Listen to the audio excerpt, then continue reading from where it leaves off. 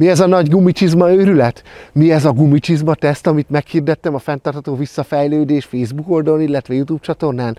Hát nem más, mint egy reggel története, ami már nagyon sok-sok év és hosszú idő története. Nevezetesen elmegyek, vásárolok egy gumicsizmát, az a gumicsizma egy ideig betölti a funkcióját, kényelmes, tetszik, hordom, és egy idő után azt tapasztalom, hogy nem működik a gumicsizma, beázik, szétreped, kilukad, vagy éppenséggel mondjuk beszakad a talpa. És hát ez olyan szomorú történet, hogy nyilván, hogyha az embernek csőstű jön, és egyszerre két gumicsizmája romlik el egy reggel, mint azon az ominózus reggelen, akkor elgondolkoztam azon, hogy milyen gumicsizmát vásároljak, milyen gumicsizma az, amire valójában ma egy tanyagazdának szüksége van, aki kimegy egész nap, és reggeltől estig a lábán van, és mondjuk jár trágyába vele, jár sárba, esővízbe, vagy esetleg délután kiviszi a madarait egy solymászatra, kiviszi röpíteni, melyik az a gumicsizma, amit érdemes megvenni. És rögtön az autók példájára gondoltam, hogy lehet Magyarországon vásárolni autót, 7-8 millió forintért új autóról beszélek, és lehet vásárolni 70-80 millió forintért is új autót. És ha ezt gumicsizmára vetítem le, akkor a tapasztalatom az, hogy a 70-80 milliós autó az harmada idő alatt elromlik, mint a 7 milliós. Ha ez így működne, akkor elég nagy probléma lenne ugye autóügyileg az országba, de gumicsizma ügyileg nincs probléma, mert mm, esetleg megvonogatjuk a vállunkat, van, aki mondjuk köp egyet, és elmegy, és vesz egy másik gumicsizmát. Csak én irrealitásnak tartom azt, hogy elmegyek, és kiválasztom azt a csizmát, ami mondjuk gondolom, hogy jó lesz ebben az életben, és amit több évig tudok használni, és az a gumicsizma mondjuk kerüljön 40 ezer forintba, vagy 45-be, és ha 3, 4, 5, 6 hónap alatt a csizma teljesen tropára megy. Holott, hogyha vettem volna egy 3, 4, 5 ezer fontos gumicsizmát, akkor az minőségileg bírta volna a strapát itt a tanyasi körülmények között. Na de kezdjük onnan, hogy miért is éppen gumicsizma, és miért nem mondjuk egy bakancs.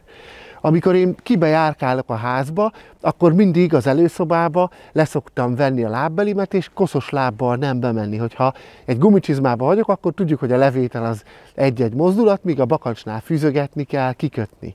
Én szeretem azt, amikor van egy tiszta pont az ember életébe, nekünk ezért is nincsenek ott bent állatok a házba, nem jön be a kutya, nem jön be a macska, hanem mi magunk vagyunk benne, és mezitláb vagyunk általában úgy, hogy ne kelljen utána naponta háromszor, négyszer seperni, vagy felmosni a piszkot. Tehát folyamatosan minden egyes alkalommal levesszük a lábbelinket, így a bakancs az sok-sok perccel, 10 perccel hosszabbítana meg egy napi munkafolyamatot, hogyha mondjuk többször is ezt meg kell szakítani, egy ebéd, egy kávé, egy másik kés, vagy esetleg ugye száraz zokni miatt, ami itt az elmúlt időben többször is közrejátszott, amikor a gumicsizmák éppen kilukadtak, és belefolyt a víz.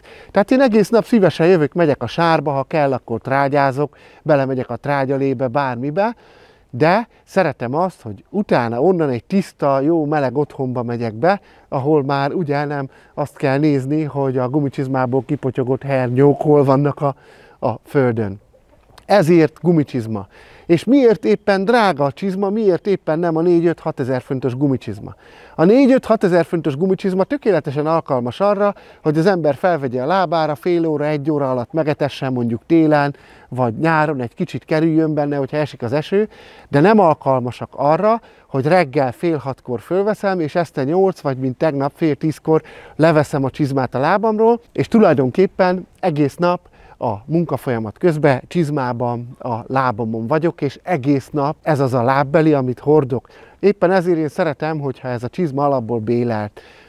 Azért jó, hogy bélelt ez a csizma, mert a bélésnél ugye az önmagával jön, hogy egy melegebb dologról van szó, egy olyan csizmáról, amiben nem fázik az ember lába, akkor se, hogyha mondjuk egy-egy órát, mondjuk egy ilyen videó kedvéért egy helybe kell állni és elmondani a szöveget, vagy akkor sem, hogyha mondjuk egy solymászaton az ember várja, amíg a madara lejöjjön a fáról, vagy röpül, vagy éppenséggel állva kell beszélgetni. Tehát mindenképpen a béleltet részesítem előnybe. Persze voltak nekem habcsizmáim is, és jelenleg a habcsizma volt a top, az volt, ami a legtovább bírta, mert volt olyan habcsizmám, igaz, hogy a 43 ezeres kategóriából, ami két-három évig is bírta, persze, az folyamatosan, hogy hiába szúrásálló talp, itt-ott azért az akác tüskék átszúrják, és húzamosabb ideig sárba tölti az ember benne az időt, akkor itt-ott elkezd már egy év után beszivárogni a víz a csizma belsejébe,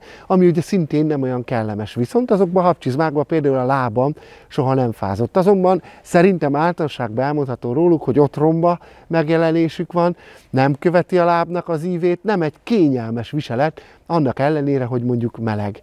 Ezek a habcsizmák olyanok, hogy kibe lehet a bélését húzkodni, de szintén az a csizma hordását megnehezíti, hogy külön felhúzni a bélést, eligazítani benne a ruhát, és akkor már béléssel együtt a habcsizmába belelépni, az nem olyan egyszerű feladat, mint mondjuk egy sima bélelt csizmát felvenni. Ezért én a habcsizmákat, annak ellenére, hogy jók, egész napos használatra nem tartom jónak. Ráadásul, hogyha mondjuk valaki el szeretne menni gumicsizmába a városba, akkor egy ilyen habcsizma az be nagyon csúnya. Az egyik videómban abban a habcsizmámban voltam, és akkor jött egy srác hozzám az András, és hozott egy gumicsizmát ajándékba, lévén, hogy egy szebb csizmába legyek már a videókba.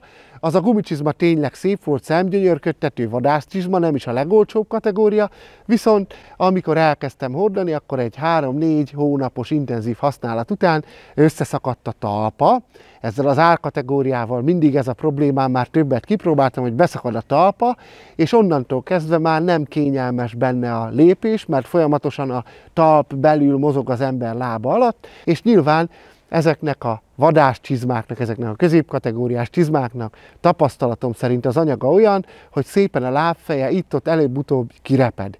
Ezeket a csizmákat véleményem szerint arra gyártják, hogy Budapestről felveszi a hétvégi vadász havonta egyszer, kimegy, és akkor egy vadászat alkalmával a lábán van, de nem állandó használatra, nem egész napos használatra készült csizmák, és valójában az ár, az a marketing és a dizájnnak a kérdése, és azt gondolom, hogy azon igazából többet akarnak keresni, mint önmagában, amit a csizma ér. Ha egy olyan terméket dobok a piacra, ami nem tölti be a funkcióját, vagy csak korlátozott ideig tölti be, és pontosan tízszer annyiba kerül, mint ugyanabból a termékből az alapcsomag, de nem bírja azt az alapcsomagot, az alapáru terméket sem kiszolgálási időtartamba, sem pedig egy idő után komfortba vagy funkcióba, akkor azt gondolom, hogy lopást követek el, és a fogyasztók megtévesztését követem el azzal, hogyha jelen esetben én ezeket a gumicsizmákat hozom forgalomba, és nem írom rá, hogy heti egy-két napos használatra, heti három-négy órás használatra,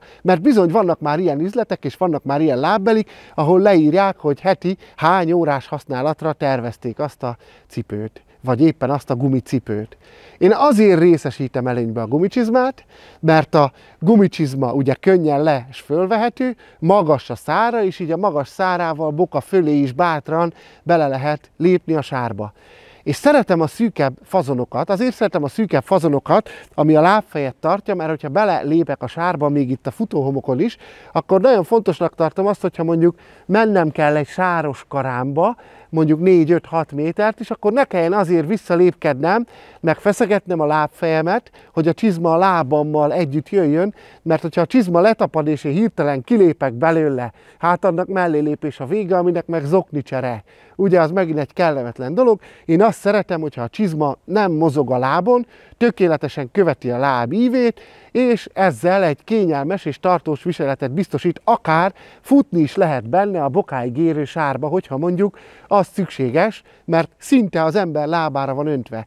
Na, ez is egy indok arra, hogy miért is nem szeretem a habcsizmákat mindennapos használatban. A traktor mellett álltam, engedtem le a traktorból a hűtővizet, lévén, hogy sima desztillált vízzel volt feltöltve, sőt, ez se igaz, mert kútvíz volt benne legutóbb, és azon gondolkoztam, hogy milyen csizmát válasszak. Azon gondolkoztam, mik lehetnek a csizma választás fő szempontjai.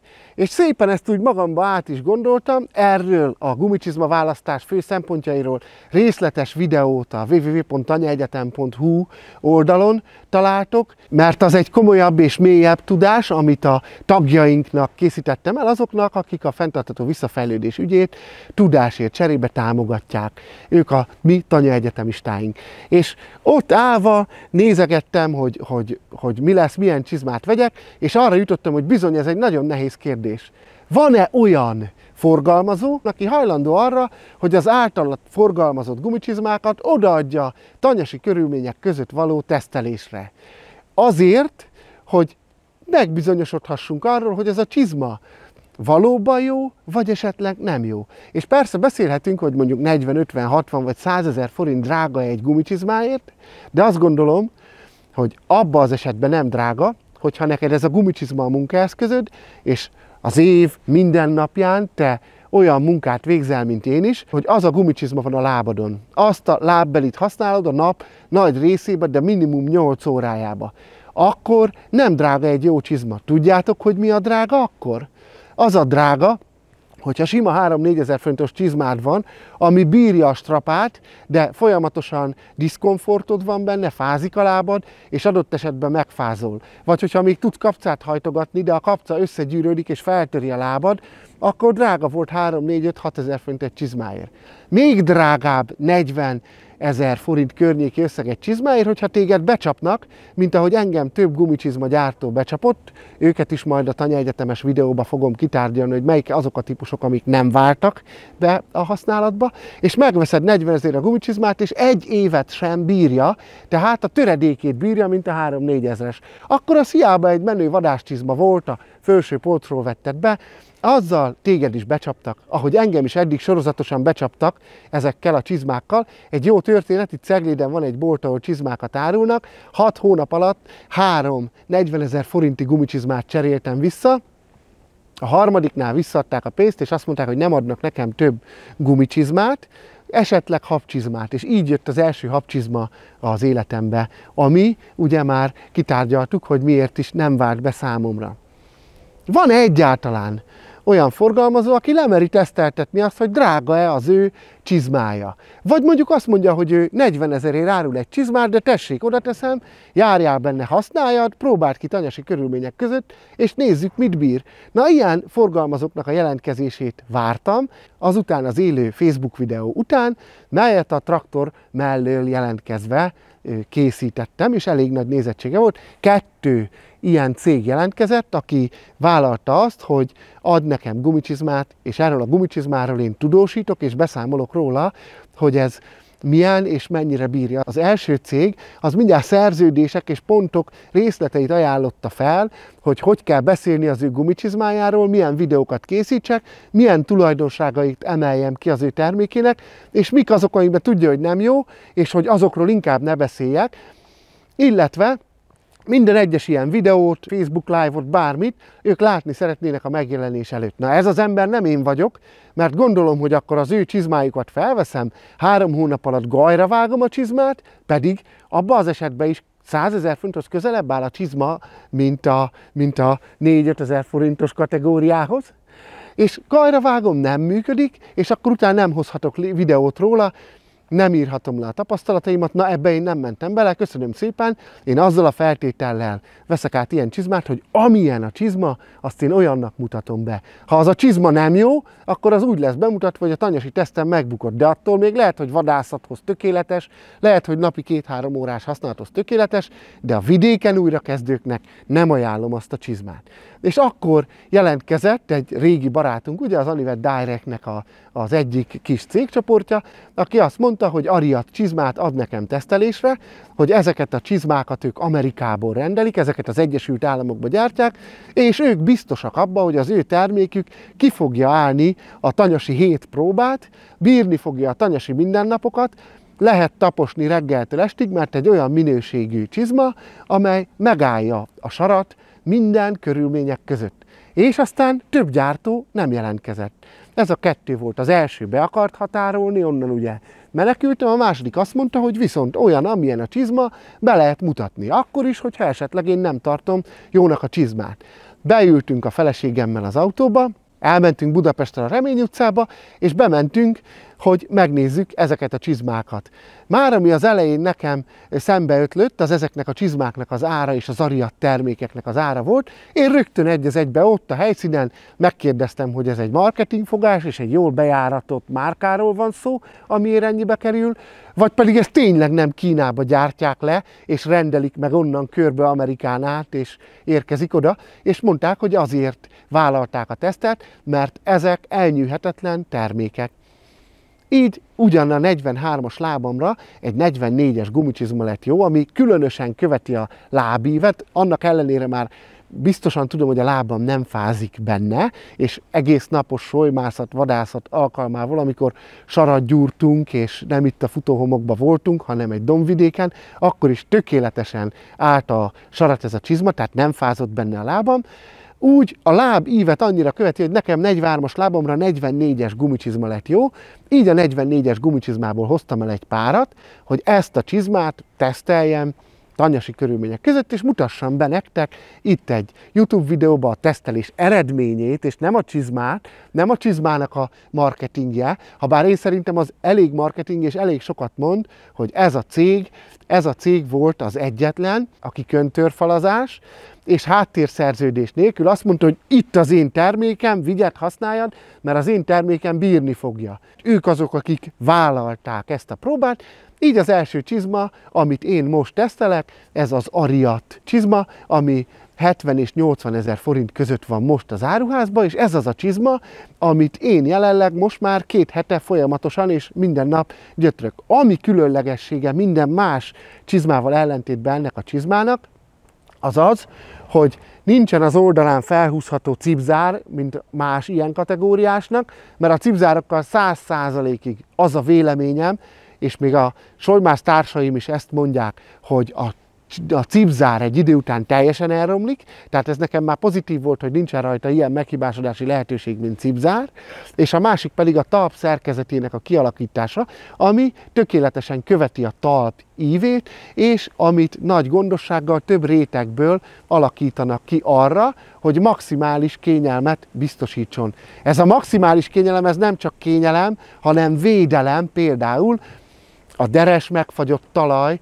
ellen is, tehát nem fázik az embernek a talpa sem ezekbe a csizmákba. Úgyhogy ez az első csizma, amit most itt elkezdünk és kipróbálunk. Tényleg minden körülmények között én ebbe etetek, ebbe fejek, ebbe almolok és trágyázok, ebbe megyek egész napos solymászatokra, sőt, én használom városi körülmények között is, tehát hívtak most egy kisebb körbe, előadást tartottam a múlt héten, abba is előadni, ebbe a csizmába mentem el, mert nézzük, hogy hogy bírja, nézzük, hogy milyen minőség, ha bár én azt látom, hogy amikor már a terméket forgalmazó adja feltétel nélkül a terméket és a nevét a teszthez, akkor önmagában már ez egy biztosíték. Biztosíték a minőségre, és biztosíték arra, hogy az esetleges beléjük vetett bizalom az további pozitív eredményekkel zárul, tehát hogy, hogy ezek a csizmák tényleg állják a sarat.